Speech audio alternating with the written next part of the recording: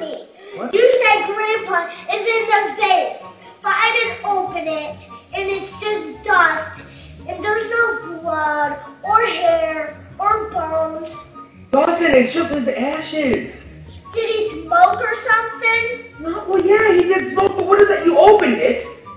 Yeah, and I spilled it, and now it's on the ground. Oh my god,